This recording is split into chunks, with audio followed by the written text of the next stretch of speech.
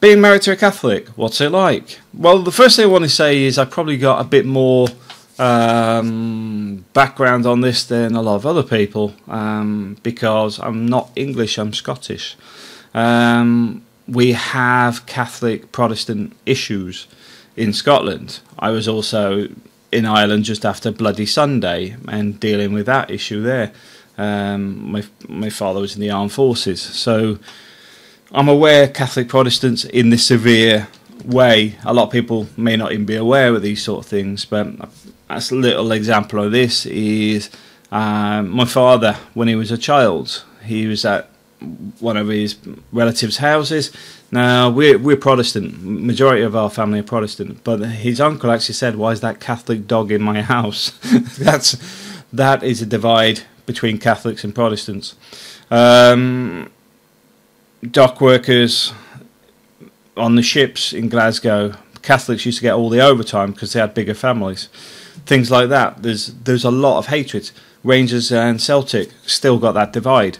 Um, is it getting any better? I would say it's probably toned down a bit, but a lot of the stuff in Ireland is actually lied about uh, because they deregulated the IRA and UD, uh, Ulster Defence League um, to gangs instead of terrorists.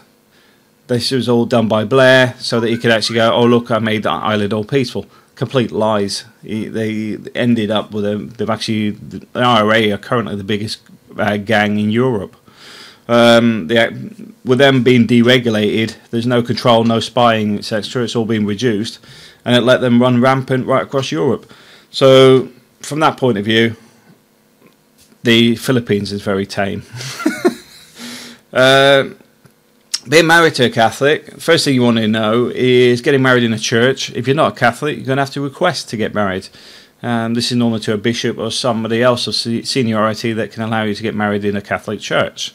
If not, or you don't want to, right, you'll have to get married at the next office. You know, the office is normally a town hall, um, the courthouse, whatever is the civil way of getting married in the Philippines where you are. Uh, baptisms and stuff. Our kids are baptized means absolutely nothing to me, but it's important to my wife. So I just let it go over my head. Not really a problem for me. I respect my wife's choice of religion, but at the same time, she's not overly religious, not preaching the church every day and not dragging the Bible out from under the bed at night. It's it's a normal relationship, you know. It's I know other people have got partners that are obsessive with these little icons, these uh, wooden statues and stuff they have around the house and things, and they're a bit more into it. Here in Spain, like I said, we've had fireworks going off at four in the morning where these people are out doing their walk or whatever for, for some religious thing. And it's predominantly old people here. There's, there doesn't seem to be any young people. It's normally like 60 year old people at four in the morning with some fireworks and some bells and stuff, doing whatever they do. Leave them to it. Doesn't bother me. They're not burning people, so don't really care. Um, the main thing you have to do is accept each other's space. Now, that's very diff- difficult for Catholics. I've had arguments with Catholics before, um, some that are sort of devout Catholics, where they want to spread the word. And I'm saying, respect my wishes as well. I'm not interested. Leave me alone. I'm quite happy to have a beer with you, chat, whatever, but do not spout this stuff I am not interested in. I do not care. I have no interest in the Catholic faith whatsoever. I've got no interest in any faith whatsoever. It's just not my thing. You know, it's it's an opportunity for those that want to follow it. Go ahead, but do not talk to me about it. And I don't care that you're told you have to spread it. I'm telling you, I don't want to hear it. You respect my views as well as your own. You know, I'm I'm telling you, respect my space. Do the same. Otherwise, I will get quite offensive because I do not want to be bothered with people ramming it down my throat. Um, but generally, you don't really have too many issues. There, there is the odd, um, like the weddings and all that, but you get that in any family. It's not like you having to go to church every Sunday or all the time, unless you actually marry somebody that follows that. What I found with an expat that took his wife to the UK is she used to go all the time. Then she started to see how hypocritical a lot of the people are that go to church. And then it sort of became once a week. And then it become once a month. And now she realised she can pray at home and doesn't need to go to the church because the church has nothing to do with her religion. Her interpretation and following her own views and praying, etc., is more to do with her. You know, this is why the Protestant and Catholic thing sort of divides, where the Protestants follow the book, the Catholics seem to add extra books, um, but also it strays away to suit too many things. From what I've seen in the Philippines, I'm not I'm not talking about uh, Protestants any better. I'm just saying from what I've seen in the Philippines, you you hear things during politic politics, for example, where the church is playing its um, card to get a bit of power. Um, the the health bill, for example, trying to block the contraception and things like that. That for me is where government and religion need to separate. So put that to one side.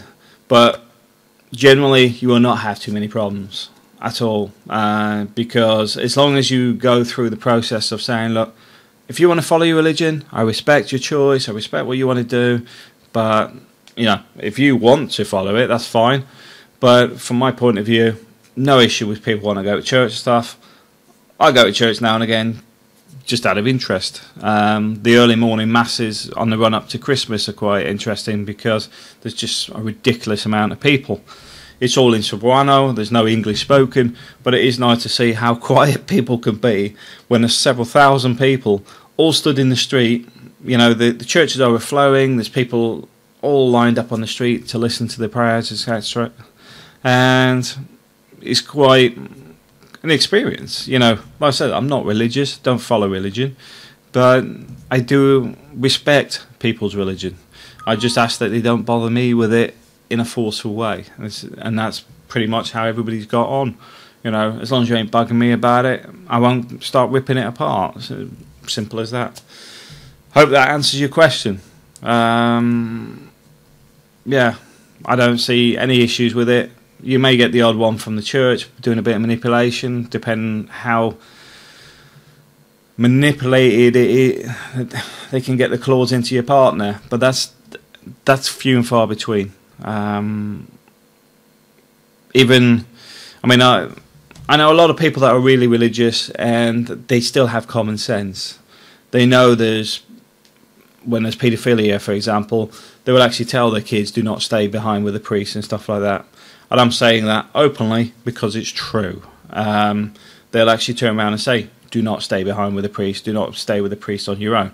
Now, the, this, for me, it seems a bizarre scenario where people actually accept that it goes on and listen to this guy preaching to them, and at the same time, it's illegal, immoral, and just wrong. All right. Thanks for watching.